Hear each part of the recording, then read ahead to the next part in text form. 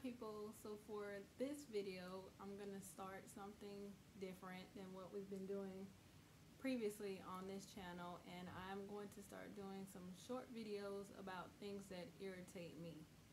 Um, so if you haven't subscribed already go ahead and subscribe so you can keep up with these videos that I'm gonna do about things that irritate me as well as the other videos that we have already on our channel.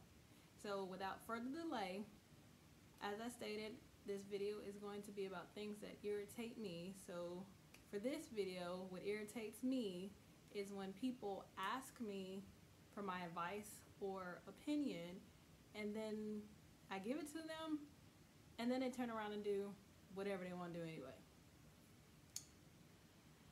In another video, I will be going over things that I do on a daily basis where my time is very precious to me and I don't have time to be sitting here going over things with you and trying to help you in your situations and you just go and do whatever you want to do.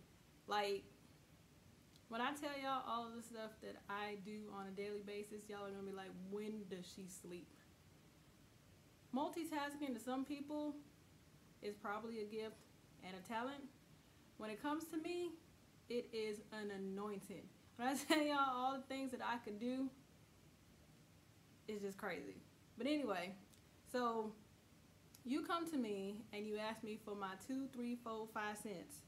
And I sit there, I take my time. First of all, you done text my phone, you done called my phone, you done reached out through my mama, then called my kids, then reached out through my husband, trying to reach me.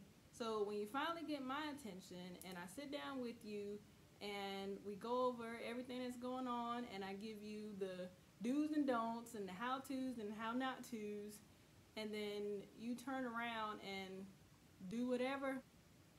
First of all I don't have time for what I don't have time for.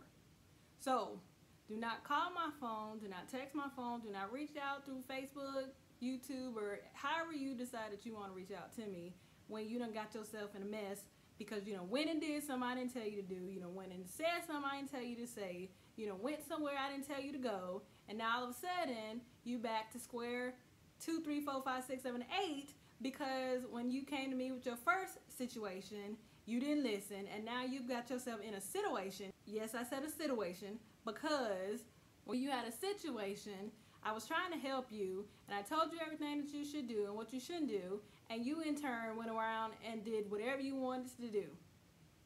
So now you have a situation, and now you want my help again. Why in the blue sky and the grass is green do you think that I have time to go over stuff that we done already went over? I don't have time to do it. I'm not going to do it. So when you call me, you're going to get one of these. We're sorry. The person you are trying to reach is no longer accepting phone calls from you until you learn how to listen. Goodbye. Y'all. That, that really irritates me.